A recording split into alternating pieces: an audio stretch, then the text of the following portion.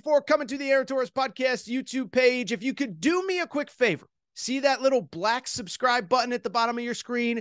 Go ahead, click that black subscribe button. Really does help our audience grow, really does help our channel grow, really does help and mean more than you could possibly know. So go ahead, hit that little black subscribe button. Also, thank you to our presenting sponsor, Betfred Sportsbook and the Betfred Sportsbook app. Bet 50 on any game, get 250 in free bets. Thank you again to Betfred. Thank you again to you. Now, here is the video that you came here for. Topic of the day. I'll tell you this. In what was a great day of college hoops, I don't think there was a bigger story than what happened in a lovely little town that the folks call West Lafayette, Indiana. Indiana at Purdue, mega game, mega rivalry between what I think we all think is the two best teams in the Big Ten. Well, Indiana walks into Mackey Arena, one of the toughest road environments in all of college basketball, and they walk out with a 79 to 71 win. Indiana upsets their cross state rivals on the road. And I just got one thing to say, baby. You already know where I'm going with this. That's right. How about my boy, Mike Effin Woodson? I just pulled up the Mike Effin Woodson T. For those of you watching on YouTube, you can get yours at AaronTorresOnline.com. Mike Effin Woodson, Indiana. What a win. And let me just say this people are going to say, How did it happen? Why did it happen? What happened? What went right? What went wrong? I'm here to tell you one thing and one thing simply Indiana had on Saturday the best player on the court. Indiana has the, eh, the, the, the most likely NBA player. Bottom line, one team had Jalen Hood Schifino. You want to start taking out your notepad, writing down names to know? I will tell you this Indiana's Jalen Hood Schifino, freshman guard. If you need to know one name, maybe out of the entire Big Ten for March, this is the name, and he is the reason why Indiana wins. So Indiana goes into this this game. You know, like I said, a small underdog. They had beaten Purdue a few weeks ago in West Lafayette.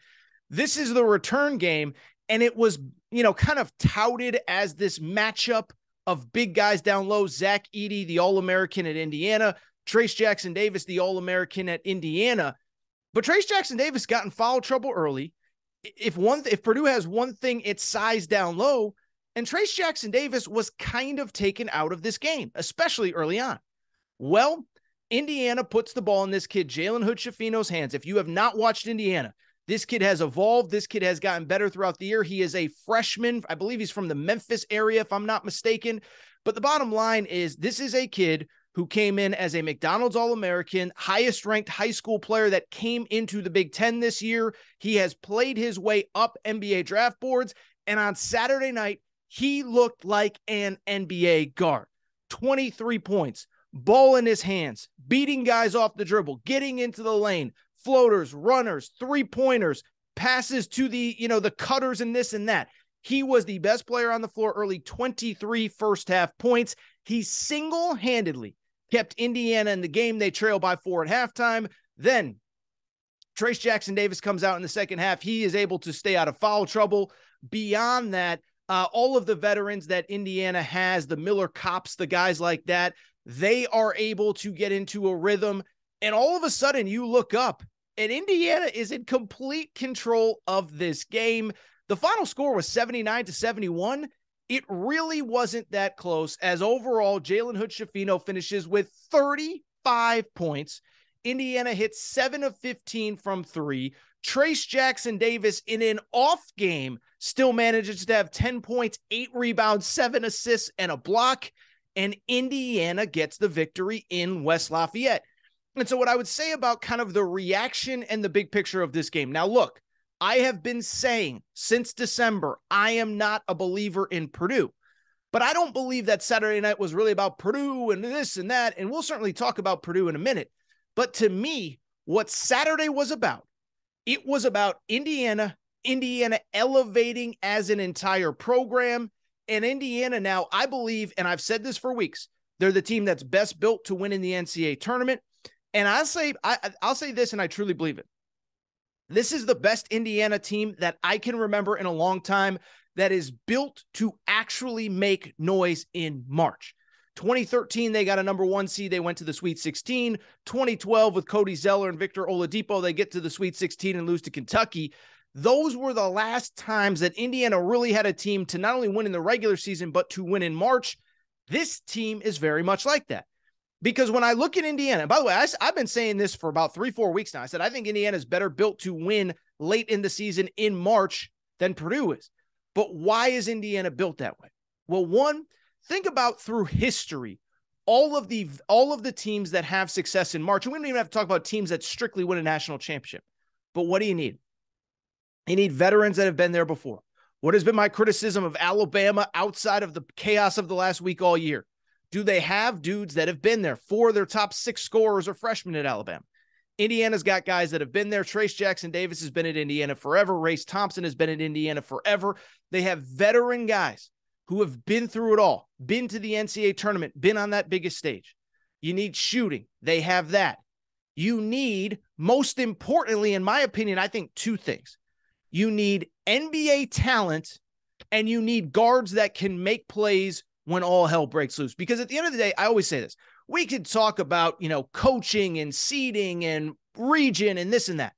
If you look at the history of the NCAA tournament, the one thing more than anything that leads to success, do you got those dudes that can make plays? I mean, you even go back to Kansas last year. That wasn't thought of as any sort of historically great team, nothing like that.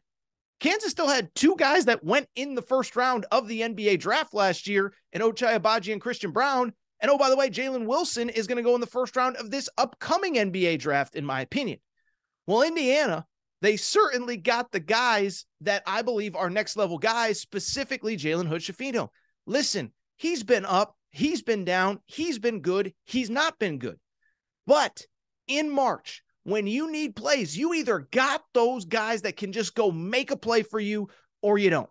Think about the, the narrative around John Calipari for the year through all these years. He needs that guard that can go make plays. John Wall, um, Derrick Rose, this year, Cason Wallace, De'Aaron Fox.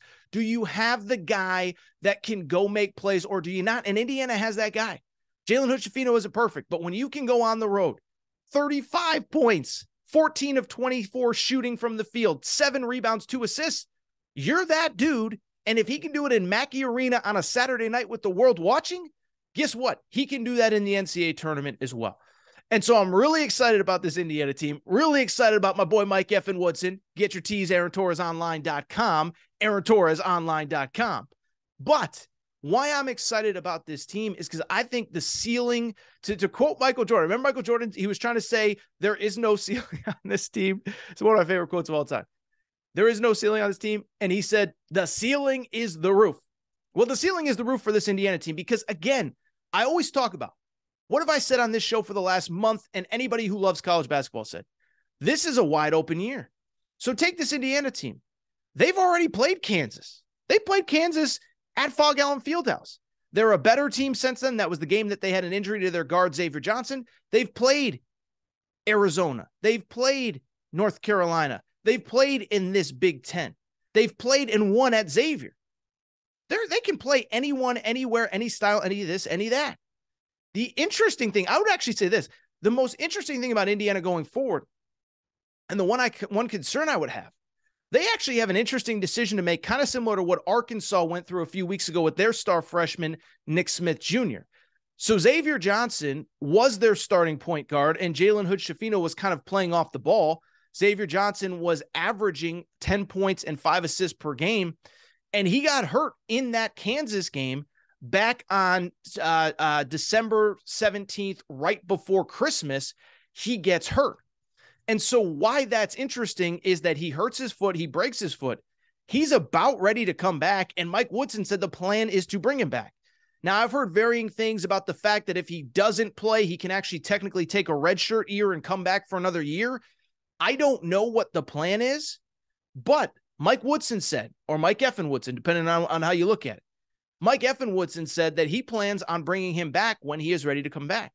And so that's actually the most interesting thing with Indiana. They got a groove. Everybody knows their roles. Jalen Hood Schifino is the guy with the ball in his hands. Trayce Jackson-Davis takes over games down low. What happens if Xavier Johnson comes back? That is the interesting thing, in my opinion. That is what I want to watch. But I'm telling you, you talk about a team, they're going to be on that three, four line that can play with anybody. Give me the Indiana Hoosiers. By the way, one other interesting fact about Indiana believe it or not, and this is going to sound crazy, they have never won the Big Ten tournament. We put the Big Ten tournament in place in 1998.